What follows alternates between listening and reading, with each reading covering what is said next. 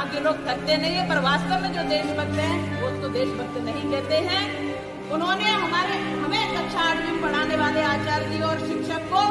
उनकी उंगलियाँ तोड़ बोलो तो